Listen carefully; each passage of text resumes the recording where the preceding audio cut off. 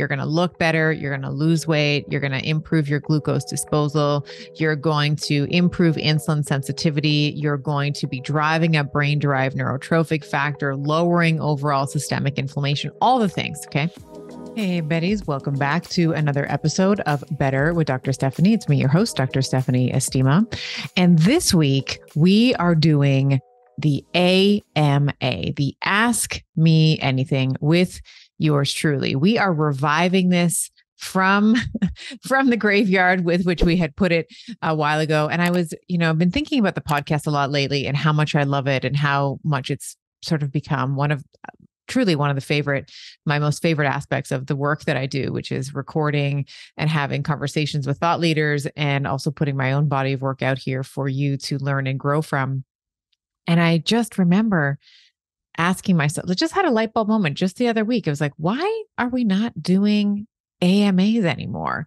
What happened? Why did that stop? So we are unpausing the AMAs and these sets of the set of questions that I am going to be answering for you today came from Instagram. So I had po- uh, posited out a question in my stories, ask me anything for an upcoming podcast episode. We got so many questions, probably enough for the next four.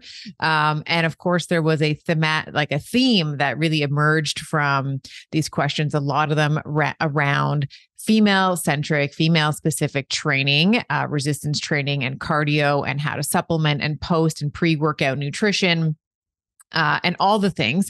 So, we are going to be spending today together talking about what are some of the best practices that you can be uh, invoking in your own life, whether you are resistance training, you're looking to up your game, and how we can be driving, let's say, creating your best physique I, of course, am biased in that I think that building out an hourglass figure, both from an aesthetic point of view, because you know, y'all know I'm vain. I'm a vain, vain woman.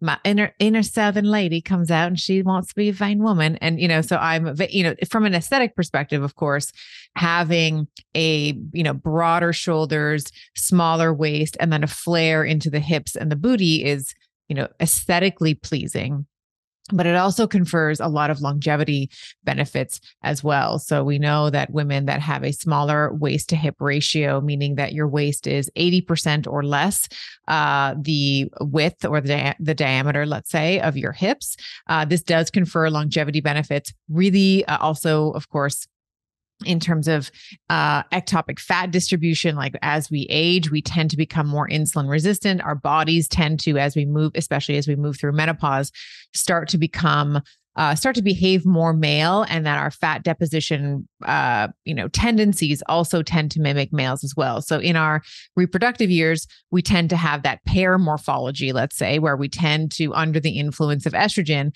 tend to deposit fat in the lower half of the body much to our dismay while we are in our reproductive years you know like to have that big booty big thighs you know that kind of thing.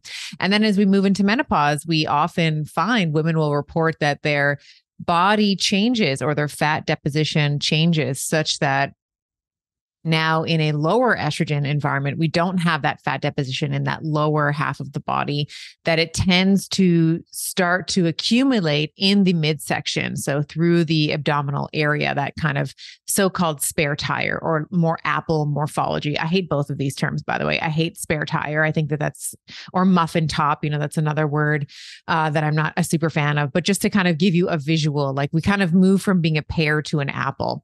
Um, and so, really keeping that hourglass figure. And you can, of course, create that through a resistance training uh, regimen, and of course, paired with proper nutrition and and um, uh, you know stress management and whatnot. We can really maintain that hourglass figure in our menopausal years, and of course, beyond in postmenopause as well. So, with that preamble, on to the show. So the first question uh, is coming in around creatine, which is kind of my favorite supplement. Uh, you know, in the Betty Body, I talked about kind of foundations, uh, vitamin D, magnesium, better than diamonds. Still agree. I still have that as a uh, you know major guiding principle for me when I'm thinking about supplementation. I'm actually not a big supplement person. Uh, I do tend to err on the minimalist side, like less is more, especially when I find that people are like, what's the one supplement that's going to help me with X? It's like, none of them. Have you seen some of the pathways in the body? That being said, uh, big fan of creatine, especially when it comes to uh, both men and women, but women seem to be afraid of creatine because of the sort of myths around uh, water weight and water bloating. So I want to kind of do a really deep dive into creatine. So this this question is the official question is what is your take on creatine for muscle building? This woman is 56. She's on hormone replacement therapy, postmenopausal. So, just to kind of give you like a lay of the land, uh, creatine is a combination of three different amino acids. All right. So, it's glycine, arginine, and methionine. And this simple yet mighty compound is involved in many, many processes in the body. It is a fundamental component, fundamental component in how your body creates ATP. So, this is the primary energy source for the myocyte or for the muscle cells. Um, ATP, of course, stands for adenosine triphosphate, uh, which means that there's three phosphate groups there. I'll come back to that in a minute. Um, so when we are working our muscles intensely, right? So if it, there's an explosive, let's say a contraction, like you might be doing in a resistance training program um, or you know very brief let's say intense work um, you know lasting somewhere in the range of call it uh, maybe 10 to 15, maybe no more than 15 seconds. Um, creatine is how the muscle creates the energy necessary to do it. Like prior to other sort of energy systems kicking in, um, we have this uh, creatine system that will help to provide the myocyte with energy. Um, most of the creatine in our bodies are um, synthesized in the liver and the kidneys, um, but most of it's stored in the muscle tissue for that sort of brief. I mean, even 15 seconds is a bit much. I'm going to hack that down to 12. So, like 10 to 12 seconds of like explosive activity uh, is where we see that uh, creatine becoming very, very important in terms of being able to help the muscle cell create energy. Now, creatine is not really um, considered an essential nutrient, um, meaning that the human form, the human body is create, uh, you know, we can create it endogenously. Um, but of course, it can be obtained through the diet as well. So, supplementation is one way. And then, of course, um, foods that contain animal products um, as well. Um, so if you are someone who's a vegan or vegetarian, know that you the only source that you really have is that endogenously produced one, or potentially supplementation uh, we, with um, with uh, creatine. And that's often, you know, when we're thinking about energy, particularly with my vegans and my vegetarians, this is a really important supplement um, for you to consider um, as well. Now, there are many forms of creatine. My favorite by a landslide is something called creatine monohydrate. Uh, it just has one molecule of water uh, attached to it, hence the name monohydrate. Uh, and it's usually like not, you know, somewhere between like 90, call it 90% uh, creatine by weight, uh, by weight. Okay. So as I mentioned before, the phosphate bonded form of creatine is like your body's first choice of energy before we get into uh, oxidative phosphorylation and glycolysis. Like these actually take several seconds to sort of kick in. Um, so this um, uh, this creatine system is the first the first line of defense, let's say, in getting your muscle tissue energy.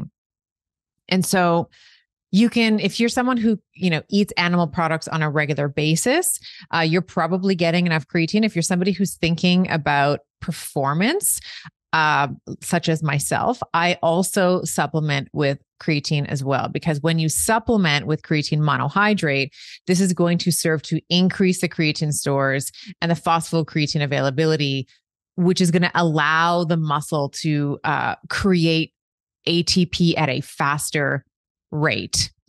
Said another way, um, the more phosphocreatine that you have via creatine supplementation, the more work that you can accomplish. So in the gym, let's say, or even you know work in general, uh, before fatigue is going to set in, because you have this sort of uh, phosphocreatine system available to you for creating energy.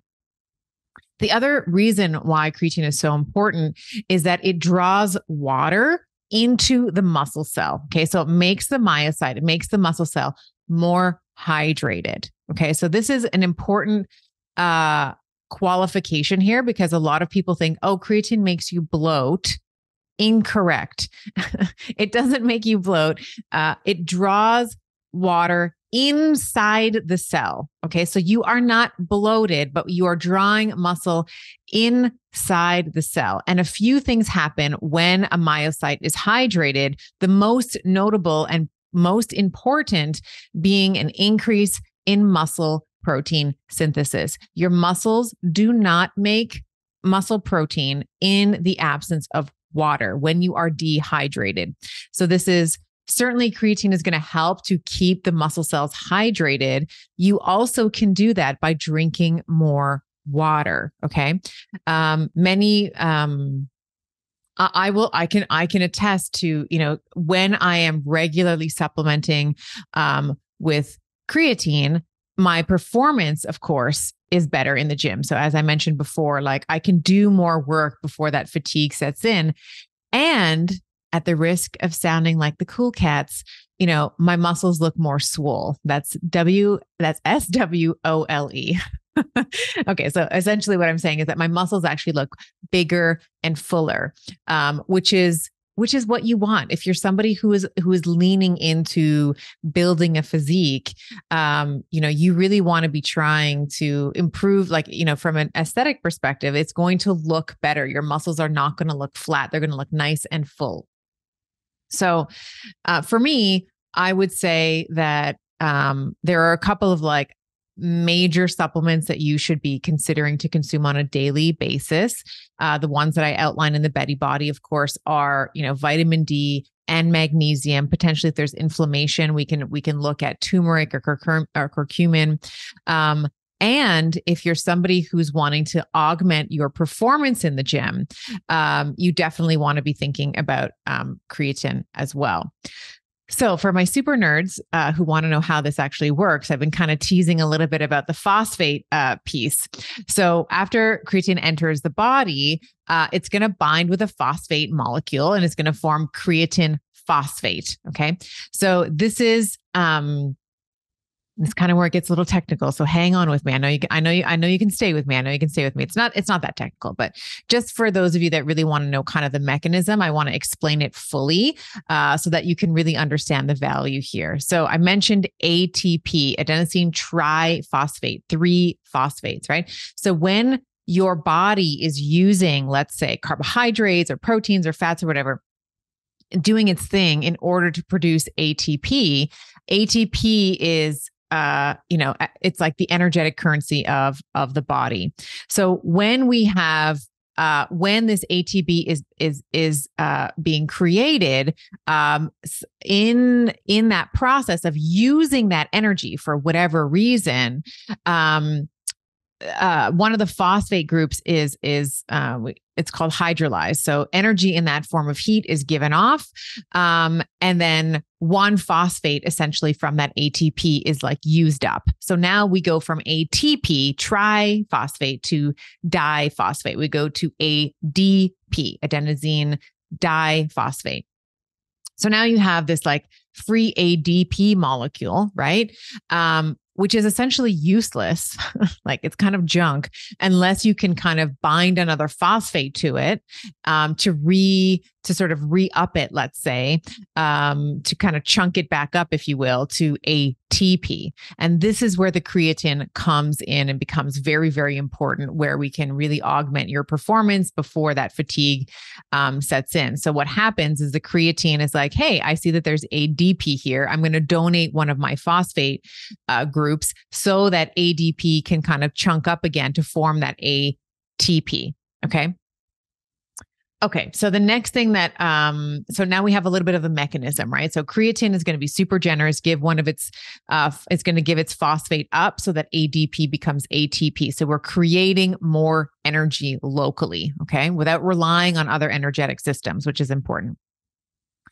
Now there's a couple of uh, you know, the the question here was like creatine for women. So I've been kind of explaining. Yes, big big fan, uh, huge fan. Um, the best time to take it again some dialogue in terms of when. I um i'm a i'm less concerned about exactly the right time to take it versus like just taking it. So you can take it pre-workout if you want. I tend to take it post-workout just because um that's kind of when I'm feeding. Like I, you know, I tend to work out fasted most of the time. And that was another question that I'm going to get to uh, today as well. It's like, which is better, fasted workouts or fed workouts? But uh, typically for my schedule, uh, I would say three of the five days that I train, three of those days have to be done fasted, or else they're just not going to get done just by way of my schedule. Um, so I typically work out fasted, don't really like food, just like a personal preference. I don't really like to have a lot of food in, especially if I'm working out in the morning. I don't like food first thing and like I just feel like a rock is in my stomach. So I like to work out early in the morning anyway, fasted.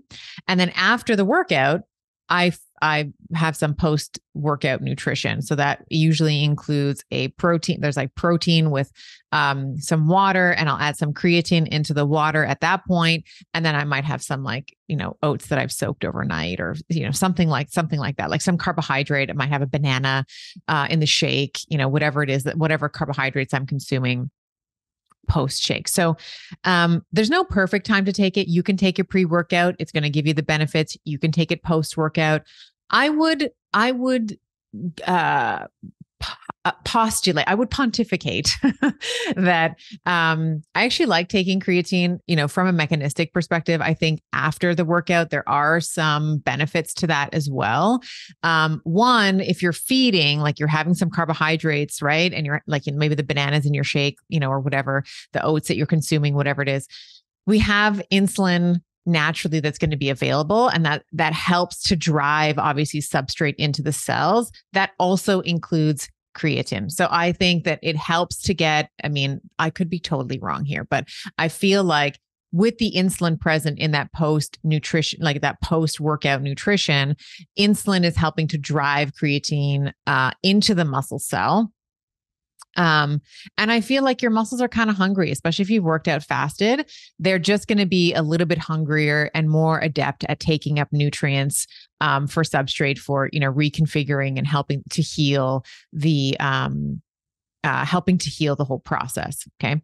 So uh, typically uh, a dosage here uh, for you know you're I, I, don't think taking a creatine uh, constantly is also a great idea because it's not like our bodies are dumb like they know that we're supplementing with them.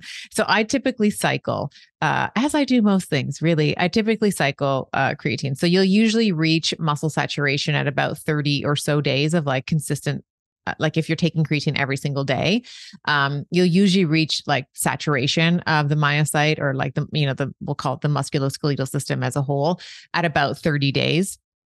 So I will typically take uh creatine for like two cycles, so like two menstrual cycles, and then I, I take a break for one or two cycles again, and then it starts again. So I like to I like to cycle things at you know no surprise there. I like to cycle most things, uh, and creatine is included in that as well.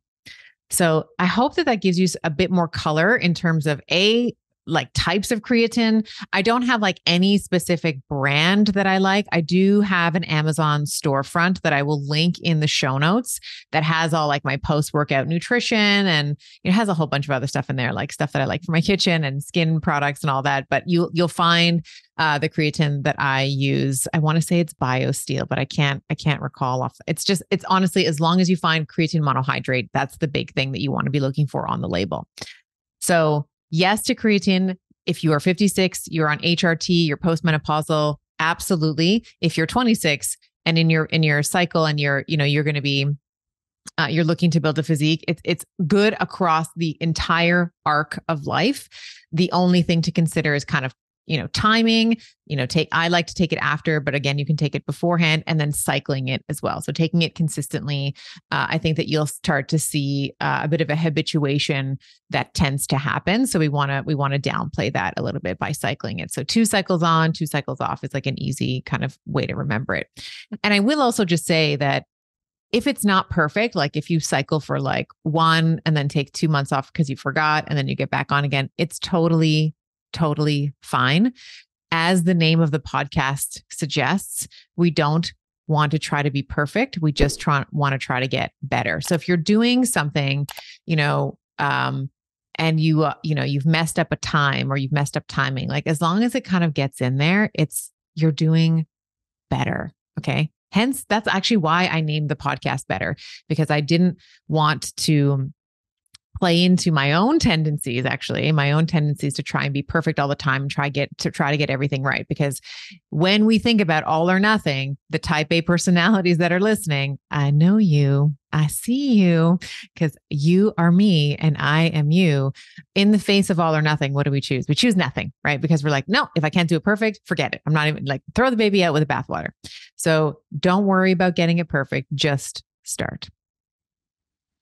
All right Next question uh, What is the best way to gain muscles for women? And I love this question because I can give you a really easy and lazy answer, which I'm going to do. And then I'm going to give you a really complicated answer because I like both. okay.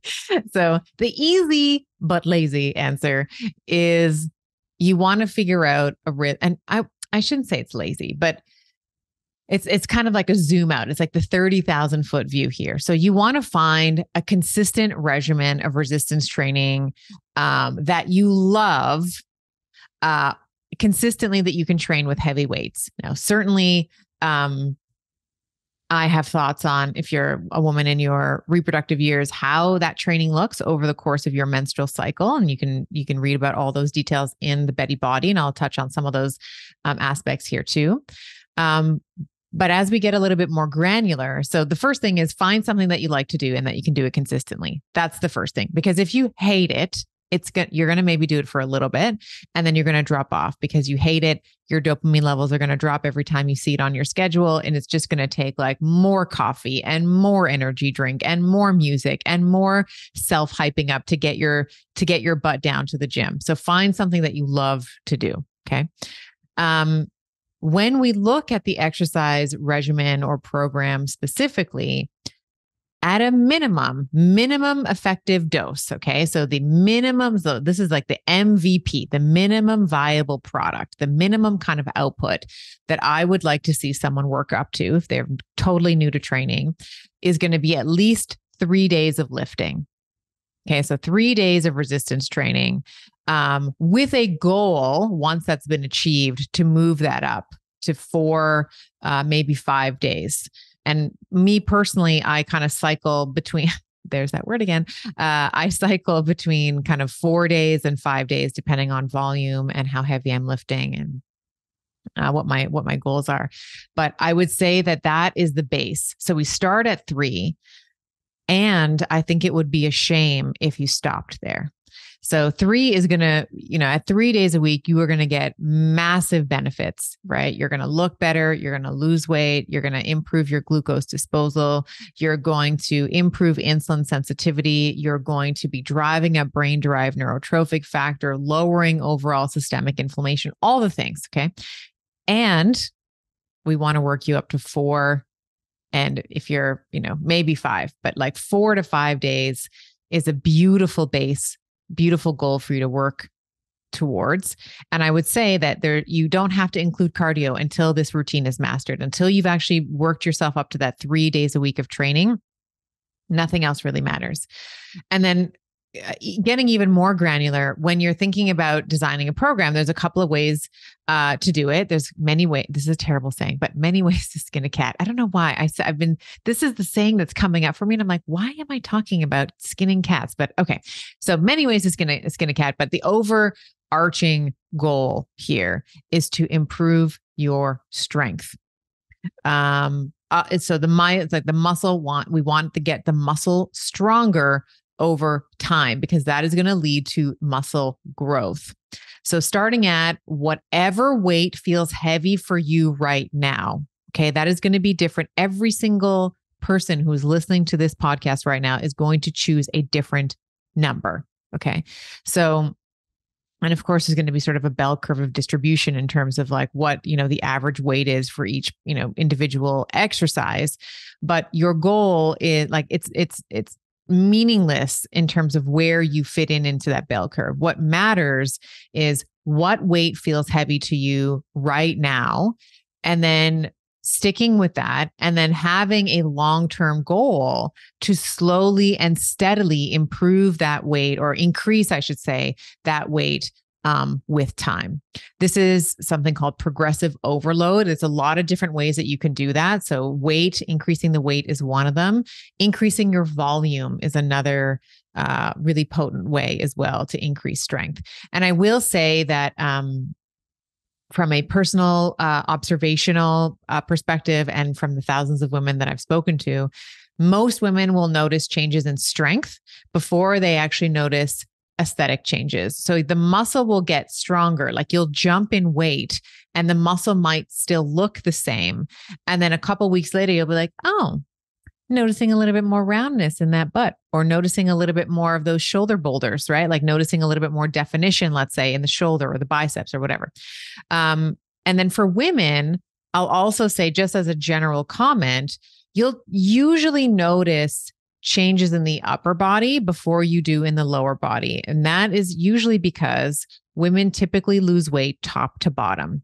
So we lose weight in the face and we lose weight in the upper body first, especially if you're a woman in her reproductive years. This is again kind of back to that comment that I made before around being under the influence of estrogen. We tend to lose weight in the top half of the body first, and then the second half of the body, or second half of the body. Oh my gosh, the lower half of the body, the lower half of the body uh, thereafter. So you'll start to see kind of changes in the shoulder, maybe a little bit more definition in the shoulder blade or the back or the chest before you're going to start to see changes, let's say in the quads or the glutes or some of these like denser, thicker uh, muscle groups. So just a just a little like kind of thing to have in the back of your mind. Women lose weight top to bottom. So if you are training upper body which you absolutely should be um, you'll start to notice changes aesthetic changes let's say in the upper body before you do in the lower body.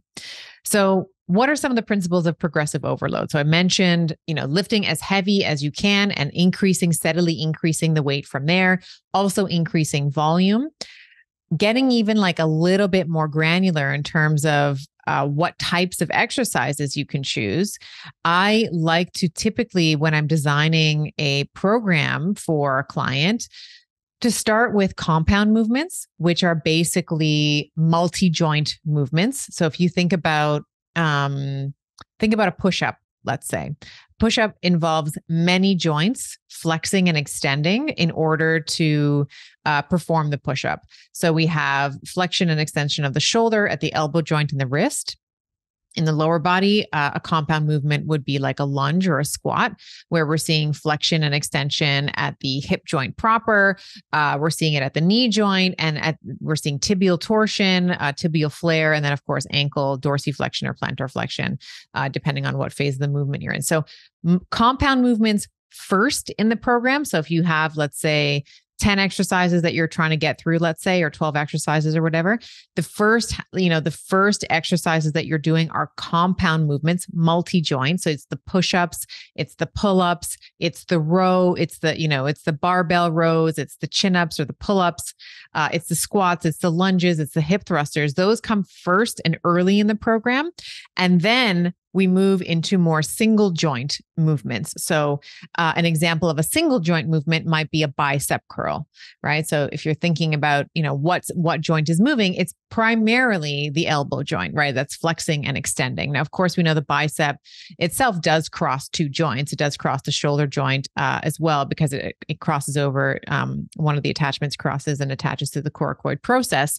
But uh, a bicep curl is primarily wh- when we're thinking about single joints. I want you to think about one one thing that's moving. So with the bicep example, it's the elbow that's moving. In the lower body, you might think about a hamstring curl, right? So we see the knee is extending and flexing um, as well. Okay, so we're just even though the even though the hamstring crosses multiple joints, right? It's going to cross um, at the hip, it's going to cross at the knee, uh, even across into the tibia, uh, some uh, into like from the uh, fibula and tibula. Oh my goodness, fibula and tibia. Goodness, I, I I think I need to make my coffee a bit stronger because my words are all fumbling in my mouth. Uh, so we know that you know even though the muscle itself crosses multiple joints, there can be movements that isolate single joints. It's, it's kind of what I'm saying. Um, the other thing I want to just mention uh, with women and weightlifting um, is that typically women have more uh, type 1 muscle fibers. What does that mean? I've talked about muscle fibers on the show uh, in the past, but these are basically, we have a higher concentration of muscle fibers that um, are oxidative in capacity, meaning that it takes, uh, for example, so I'll just kind of uh, uh, just compare and contrast for you. So, like a type 1 muscle fiber is the type of muscle fiber that's being activated in like walking, let's say, or like zone one training, uh, somewhat in zone two training as well. In type 2 fibers are are involved in kind of more explosive type of movements. So things like sprinting and burpees and like uh you know even uh, weight training like uh, uh, weight training as well. These are like primarily recruiting uh type 2 fibers and within type 2 we have like subcategory type 2A and type 2B. These are more glycolytic in nature meaning that they're going to use either stored glycogen or uh, glucose that's that's in the blood that's available substrate for the muscle to use. Women have uh, compared to men, we have more type 1 muscle fiber. So this is kind of where we see traditionally when we're looking at training regimens for females that we might see recommendations like 15 reps. It's like 3 sets times 15 reps. And um while I agree with that, I also think that we can, and while you can't like switch, like you can't change like type one muscle fibers to type two, you can specifically try to train and increase the girth, let's say, uh, of your type 2 uh, and the performance of your type 2 muscle fibers. So I don't love this is why I don't love like the 3 by 15 that you typically see for females. I think that there's an appropriate time in the cycle that we can be doing 15 or higher and that typically if you've read the book or you've heard me talk on the show before, you'll know that I really like a high rep, lower relative lower weight uh, in week four of a woman's menstrual cycle because she tends to be more inflamed at that point. She tends to be a bit more miserable if she's going to have any symptoms of premenstrual syndrome, like the bloating and the mood changes, sleep changes, anything like that it, you know, the more reps that you can get in is going to help reduce that overall systemic inflammation that many women experience. So I do like like a 15 to, you know, even up to 30, really, like 15 to 20, 15 to 30 rep range in week 4 of a woman's menstrual cycle. And I like to play around with other rep ranges throughout the cycle because I do think that we can be building up our type 2, the performance uh, of our type 2 muscle fibers. So that's typically, um, you know, in week one and week three of the cycle, I typically will go for somewhere between eight and 12. Uh, and then week two of the cycle, I like a lower rep range, but really, really heavy weights. So like five to seven, five to eight um, reps. And again, just kind of coming back to this idea of like heavy, what's heavy? Heavy is different for, you know, it's kind of a subjective term. Like what might be heavy for me might be really light for you. Um, a way to to evaluate that it, there's two ways. One is an RPE, so rate of perceived exertion. So out of 10, how much are you exerting? Uh, a heavy weight, if you were to kind of qualify it, would be somewhere between eight and 10 out of 10. Um, another way to think about it is actually the opposite, right? So, how many, if I asked you to do more reps, how many more reps could you punch out? So, this is called an RIR or reps in reserve. Like, how many do you got left in you, girl? Um, and, you know, I would say one to two, like three max should be your answer. That's what a heavy weight is. So, for a woman, to summarize, yes, you should train. Yes, you need to build up a base. It should be three at a minimum, ideally four. Your your design of the program should move you from compound movements through so like multi-joint movements through to single joint movements and this can be achieved in like a 3-day split, 4-day split, 5-day split. Um, women have more type 1 muscle fibers than we do uh, type two. Um, and I think that the other the other thing I'll, I'll say is our upper body is typically much weaker than our lower body. So this is another thing that I've noticed in my own journey in women that I've counseled is like, for example, on my hip thrust, I'm like north of 400 pounds on my hip thrust. Like I, I can push, like my glutes are so damn strong. But comparatively, let's say my chin ups, like I might be able to punch out, you know, eight before I'm done. Um, so comparatively lower to upper body, women are typically weaker in the upper body, which means that we, in order to sort of, eh, you know, achieve that symmetry between upper and lower body, we should be training the upper body more frequently, in my opinion. When I was in the clinic, I used to have some of these functional tests that I would run every new patient through. And I would ask the guys and the girls, like, on your toes how many push-ups can you do? This is you know how what's the upper body strength like? We would have other tests like wall sits and grip strength and uh, you know proprioceptive tests and balance tests and stuff. And without fail my women eh, you know they would be like oh well i want to do like a women's push-up. Can i do it on my knees? I was like okay well you can but i'd like to see you try one on your toes um, so of course, you know, women would be able to punch out, let's say five or six, let's say on their knees, and then we would get them on their toes and it would be maybe one, you know, and there'd be a lot of like sort of sagging, let's say in the midsection, like we'd see sort of a, you know, a lack of control or a lack of abdominal uh, or core strength, we'll say, uh, with that toe push up. So, women in general, like if you are someone who wants to create that hourglass figure, I would be thinking about training your upper body um, I would say, you know, if if you have a, you know, if you're training more days, like if you're training a four or five day regimen, I'd be training your upper body twice as often as your lower body.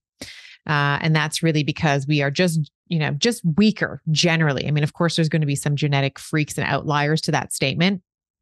But for the rest of us, myself included, I have had to work like W E R K for my for my upper body strength. Like even those eight chin ups that I mentioned, like that eighth one, man, like let me tell you how ugly it is. Like there, it's ugly. Like my knees and everything flaring. I'm trying to get myself up. Like I got to work for it. And I can like punch out like eight to 10 freaking 400 plus on on you know on a hip thruster let's say or like you know around 200 on a squat which is like you know more than like you know one point whatever I, I have to do the calculation on that maybe 1.2 uh, times my maybe that's not right. I, I, let me do the calculation, but it's like, you know, more than my body weight. Like I'm like a buck 35, right? A buck, you know, buck 40 near my menstrual cycle. So for me to be able to do a squat that's about 200 pounds tells you that the lower body, at least, you know, my constitution, but it's not just an N of one. This is like many women that I've looked at and trained over time. We tend to be able to make really big gains in our lower body um, not so much in the upper body. So it's important when we're thinking about aesthetics, right? When we're thinking about and just functionality. Like I want to have a strong upper body, right? So we want the hourglass figure, right? We need like the shoulder boulders. Uh, so building out the coronal plane is really important. But then also just from a longevity perspective, like I want to be able to pick up my grandkids. I want to be able to travel with my, you know, with my luggage and not have someone like not have to get a man or anyone else to be able to take my luggage off of the rotating i don't know what those things are called but when you're in the airport and the you know your luggage comes down on that conveyor belt and it's like circuit i want to be able to pick it up myself um so i think that those are those are things that i think about as well and that requires like grip strength upper body strength proprioception all the things right? Balance control core strength all, all the things. So that's my long ass answer for you there. I hope that helps.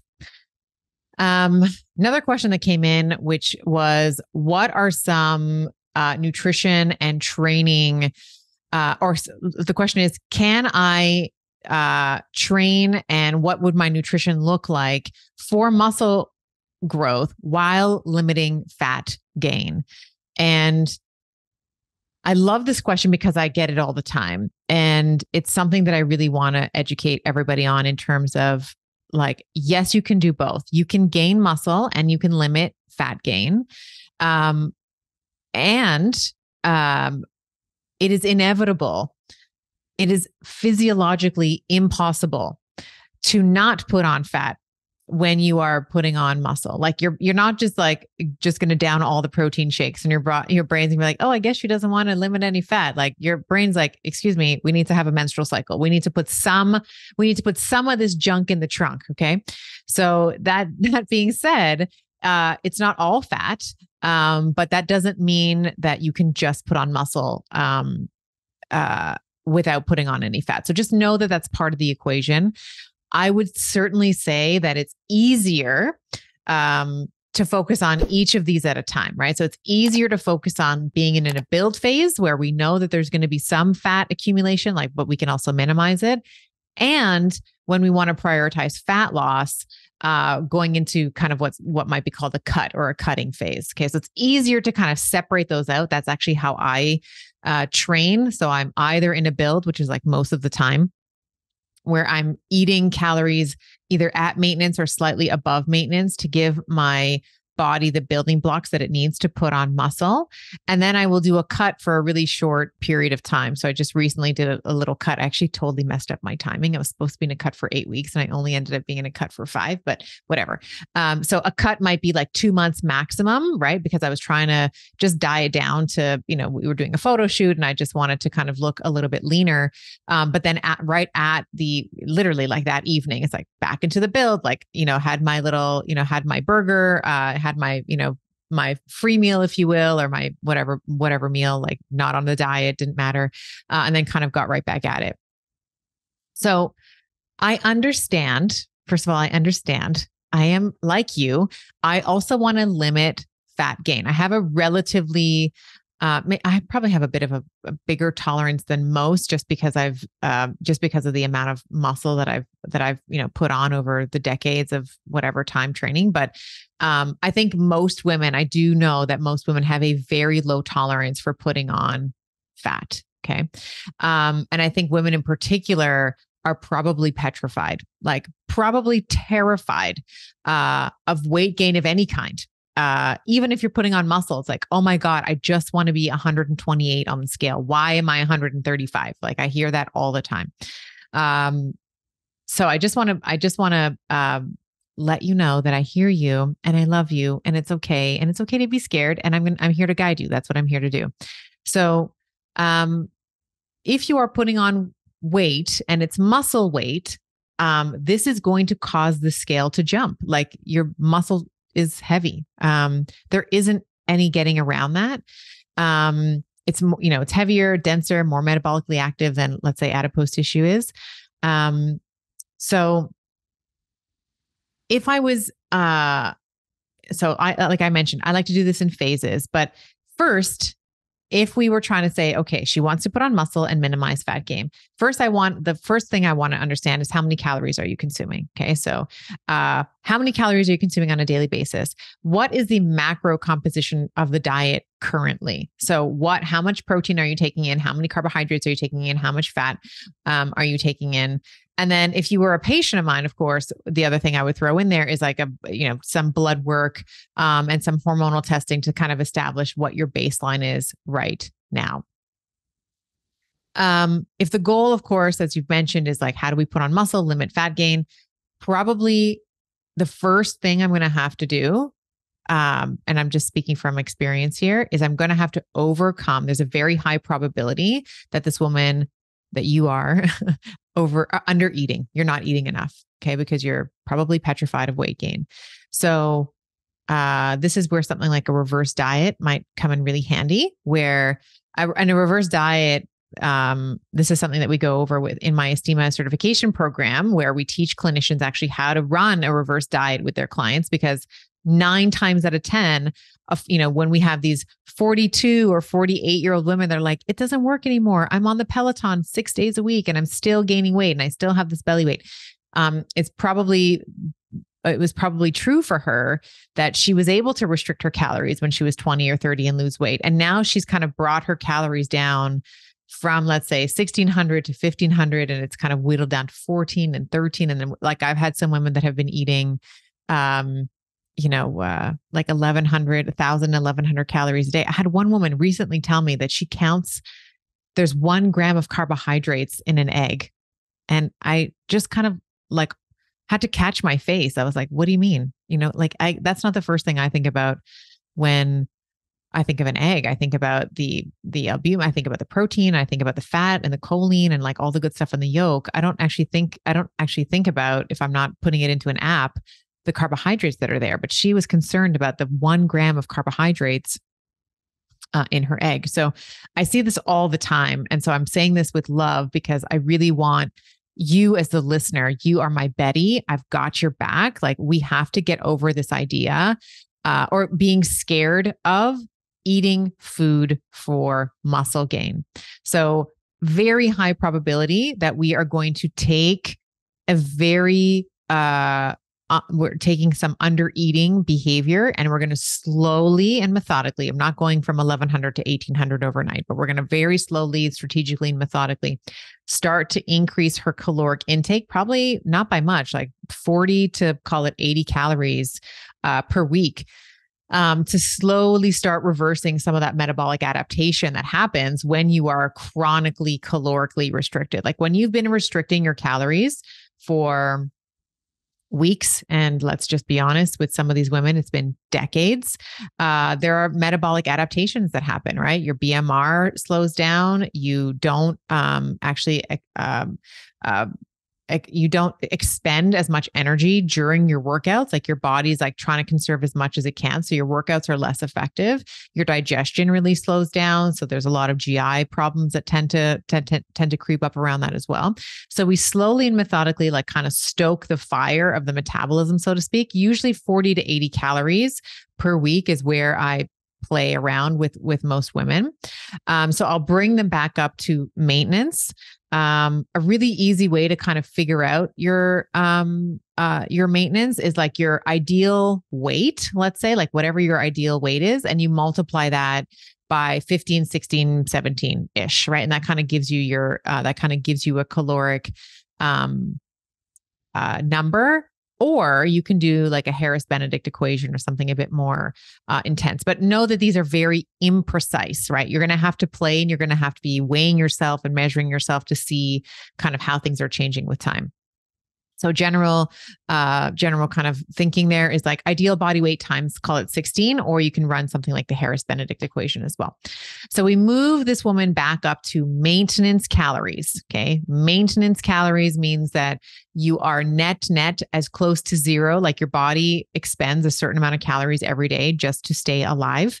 Uh, so we have moved your caloric consumption up to that maintenance. And then uh, or, okay, so there's either the maintenance calories, or depending on the woman, uh, I might do like a super itty bitty, teensy weensy, teenily weeny little caloric deficit, 100 calories, maybe maximum, maybe 200. Um, and then I'm, so there's like, you know, we're basically at, at maintenance or just like a slight deficit. And then I'm going to design an exercise program and I want to think about uh, that you know, again, thinking about the resistance training being the base. So, minimum of three days to start, as I've mentioned, ideally working up to four days, maybe five days of resistance training. And then, of course, the next tier, like if we were to think about like what's the exercise and movement program as a whole, the base is going to be resistance training, three to five days, depending on the individual. The second sort of tier, if you will, is going to be general movement. So, NEAT non exercise activity thermogenesis. How many steps are you taking? How much, you know, as if you're watching this on YouTube, you can kind of see my hands flaring up all over the place because you know, I'm taking it, taking a chapter from my Italian family. Like we talk, you know, we talk with our hands, right? Lots of Europeans all with our hands everywhere all the time. And it's like, gosh, are you guys fighting? It's like, no, we're just talking about dinner. right. So uh, those are kind of spontaneous movements, right? Like walking, gardening, uh, kind of puttering around the kitchen, tidying up, speaking like an Italian, you know, as as I'm doing now. I'm kind of, of course, now I'm exaggerating it for you to see this on YouTube, but you know, my my you know arms are kind of moving, just like spontaneous movement. These little things burn more calories. This is actually kind of the show pony, if you will, of weight loss. Because what happens, of course, when you're in a caloric deficit and you're miserable, you don't want to move, right? So the hands don't move, the affect is down, the facial contractions, everything kind of everything kind of uh, attenuates. Um, but if you're consuming more calories, you're generally happier, and there's a little bit more spontaneous movement um, that happens. Uh, so if it's a step, uh, you know, if it's a step goal somewhere between, you know, at minimum, bare minimum of 2000 steps a day at the very minimum up to about 8,000 steps a day is kind of like the goal. Um, and you can work up from there. Uh, but 8,000 steps would be kind of where I'm trying to get you to. And then, um, you know, for like for me, for example, I have a, um, you know, I don't get a lot of like steps during the day because I'm usually on calls or I'm recording something like this, or, uh, you know, I'm at the desk working. So I have a desk treadmill um, where I will work at the desk, but I'm walking at a really slow pace, like somewhere between two and three miles an hour. Uh, again, I have it linked in my Amazon storefront. So I'll make sure that that link is available for you if you want to see the one that I use. Um, and then the next sort of tier up. So we have like base of resistance training. Then we have NEAT or like kind of general movement, non exercise activity thermogenesis. And then the next piece is cardio. Okay. So a lot of weight training should be somewhere in zone two, three. Um, and then I'll add in for this person if they're if they're wanting to kind of shred maybe after we've established like a three to five day training we have you know 8000 steps happening then we're going to say okay i will throw in like one maybe two but it's usually just one uh, day of cardio training per week uh, and it's going to be in that zone two range. So uh, when we had Phil Maffetone on the show, uh, he was talking a lot about maximal aerobic capacity. I really like his formula of 180 minus your age. That's how you figure out what your zone two is generally. Okay, so um, me being 44 years young, uh, my zone two is approximately 136. Okay. So kind of when my heart rate is around 136, that, that's about zone two. Subjectively at 136, I can still, assuming I've done the math there, my God, it'd be so embarrassing if I haven't, if I've been doing it wrong all this time, but I'm pretty sure that that's right. 180 minus 44 is 136. Um, but I can still keep a conversation going at 136. Like I'm not huffing and puffing. Like it's no problem for me to continue that. Um, I have a lateral trainer um, that I find is very easy to stay in that um, zone two. I also have a bike that I can kind of set the uh, I'm on Zwift, by the way, if anyone wants to be friends with me and we can do some rides together on Zwift. But uh, I'm on Zwift, so I can either like choose the route that I'm doing. I know it's going to be like a flat hill or whatever, and I can kind of set how how what my output's going to be. Um, so that's another way that you can kind of control it as well. You can do it running too if you're someone who loves to run, but I find that um, for most people, we kind of blast that zone two really, really quickly with a run. So, like a brisk uh, walk maybe would be appropriate there as well. So I'll link Phil's my conversation uh, with him in the show notes because he has these uh, these other qualifications that I really liked as well. Like if you're over, you know, if you're sick or you're overtrained or you're on medication, like that number keeps like he keeps subtracting that number, um, so that number keeps getting lower and lower um, for you to kind of you know as a as a general marker. So I love that. Okay, and the last piece around this question. Um, maybe the most important piece of advice that I'll give is take your damn time just be the tortoise, not the hare. Uh, you know, to kind of throw reference to, um, you know, a, a childhood fable around, you know, taking your time and steady, slow and steady wins the race. Like putting on muscle takes a lot of time. It takes a lot of hard work. It takes a lot of setbacks, frustration, and dedication. Okay. It doesn't, again, doesn't need to be done perfectly. Okay. It just needs to be done. So stop waiting for the perfect time. To my type A, stop waiting for the perfect time. Stop waiting for the perfect plan, for the perfect gym outfit. Just like freaking do it. Just do something, even if it's like a four out of 10. Okay. Just figure something out and do it. Um, this this is why like these super strict like biohacking principles of only 5 a.m. Like you have to wake up and I'm part of the 5 a.m. club. And if I wake up at six, I'm a loot. Like none of this, like th- this is like utter nonsense. Okay. Like what I want you to remember is better is better than perfect. Okay. Again, back to the name of the show better is better. Better is better than best. Okay. Like it's better is better than perfect. As long as you are doing something like good goddess of Isis, anything, as long as you are doing anything, it's better than nothing. Okay. So stop waiting for everything to be perfect and the perfect day and the perfect motivation, the perfect hair and the perfect, like, it's not going to happen. So just like get dirty, you know, grunt and just like get after it. Okay. And I'll, I'll say this is like a little bit of philosophy here. Uh, but I think that this is kind of a, a really good parable for life as a whole, right? Like anything worth having requires work, right? It requires dedication. It requires a surrender to the monotony of doing the same thing day in, day out, whether or not you feel like it. So my advice here is like stop majoring in the minors. Stop thinking about all the small little details that have to fall into place for you to move forward. Just do it. The supplement stack, the nutrient timing uh, doesn't matter as much as like getting in the gym, getting dirty, making some sex noises, right? While you're lifting those heavy weights and those grunting noises because ladies, you know, just like with sex, if you haven't made a lot of noises in the gym, you've wasted your time. okay. So there, I should step off my soapbox. Um, and on to the next question. Okay. So the next, the next question is uh, aminos, amino acids. Do you, do you recommend uh, aminos before a workout? Uh, do they break a fast?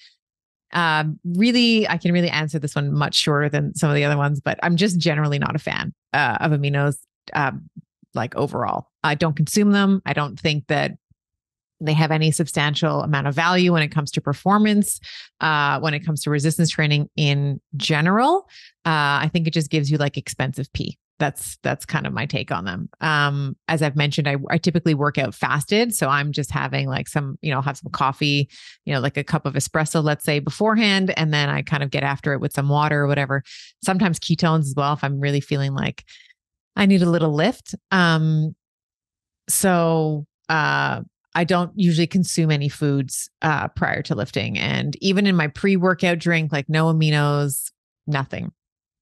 Um, I will say that um, what I would think is superior to amino. So usually the first half of the week, just my kids' schedule, um, I have to work out in the morning. Like that's just when it's going to get done. In the second half of the week, like usually Thursdays and Fridays, um, I can't work out in the morning just because of their like commitments and you know we're running around to doing all the like preschool things and um so I'm you know unless if I work out at 4 a.m.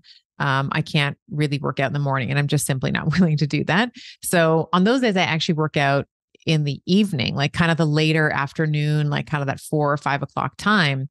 Um, and that's usually the earliest that I can even start thinking about weights. And obviously by four o'clock, I've eaten something. Um, and I will say that when we're thinking about it, maybe instead of aminos, let's say, um, playing around with being fed or being in the fed state and seeing how that affects um, your performance might be something to consider. Because what I've noticed is on those Thursdays and Fridays when I train in the afternoon, like that four or five o'clock kind of time, I do feel stronger. Like I do feel like my performance is enhanced. So if it was like unicorns and sparkles and rainbows, like the best time would be to work out at two o'clock in the afternoon, where I've had one to two meals by that point.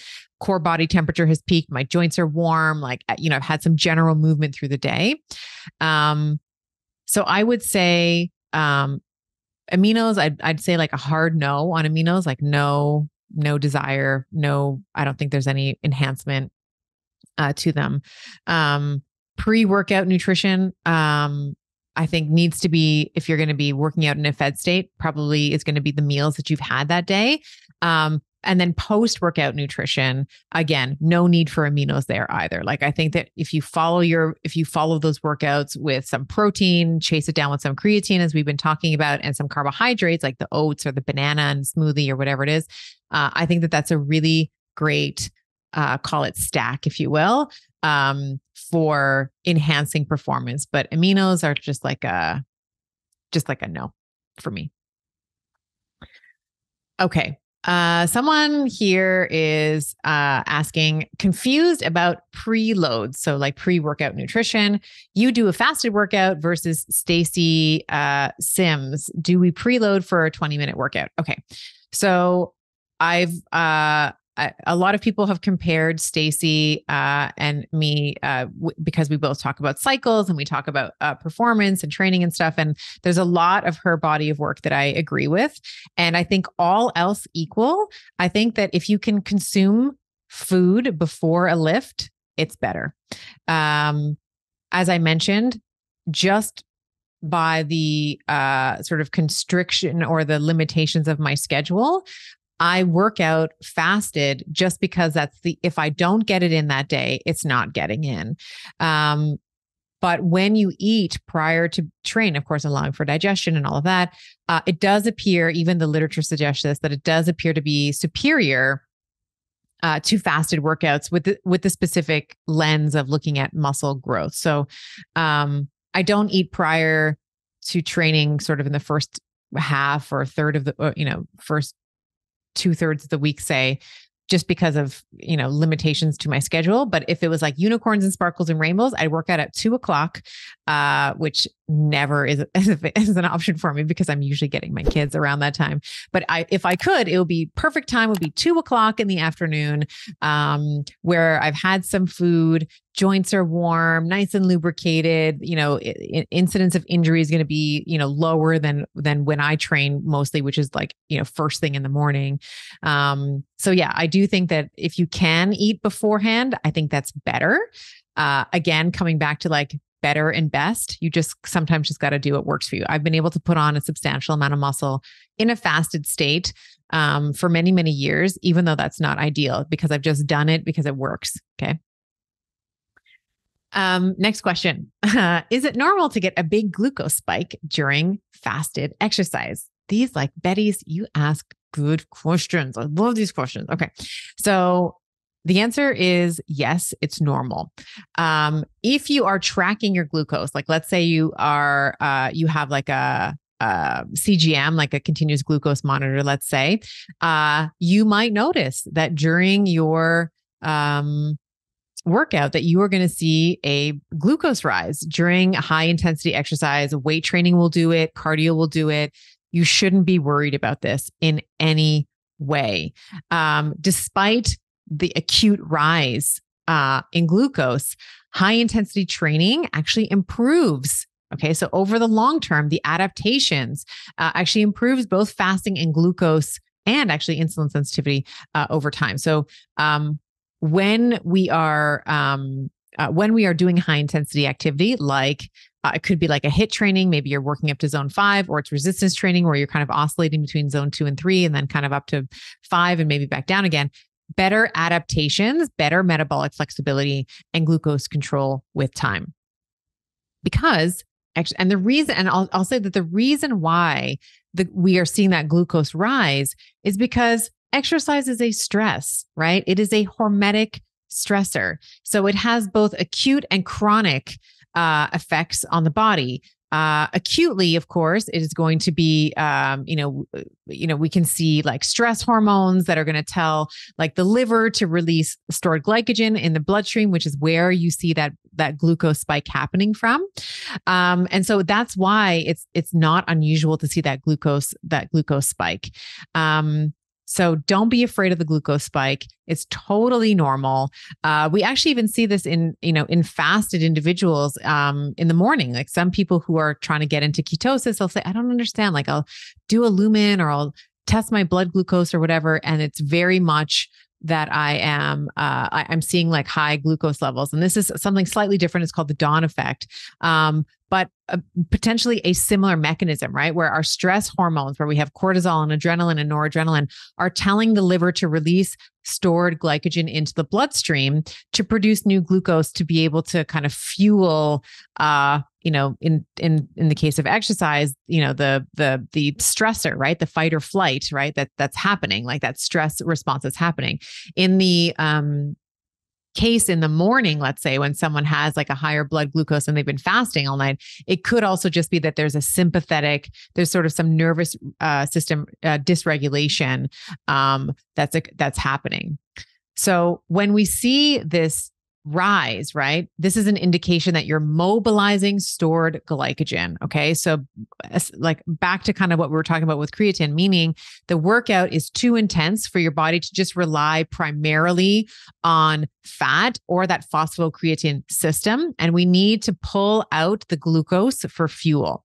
Um, this is completely different Okay. So if you are wearing a CGM, this is completely different than eating a cookie and then looking at your glucose spike. Okay. Like they're two different things, right? Um, excellent exercise related spikes are actually a good thing. They're associated with an improvement in long term insulin sensitivity. So don't be worried about that. Totally normal, totally all good. Like you're doing the right thing. Don't stop.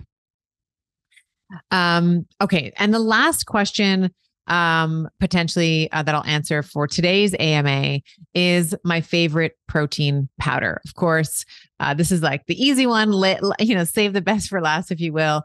Uh, this is a product called Schinoussa. It is uh, very hard to pronounce. It is named after uh, a Greek island. The company is um, based, I believe they're based in Toronto, but they ship. They are available across Canada and across the U.S. It is a fabulous, fabulous products. So they have prebiotics and probiotics, and they have just the chocolate is hands down my absolute favorite. Um, I actually reached out to them because I buy so much of their product. I'm like, hey, like, can I, you know, talk about this product and like offer my listeners um, a discount? So we do have a discount. Uh, I believe it's a 10% discount code uh, in the show notes for you to uh, to use at your uh, at your uh, pleasure.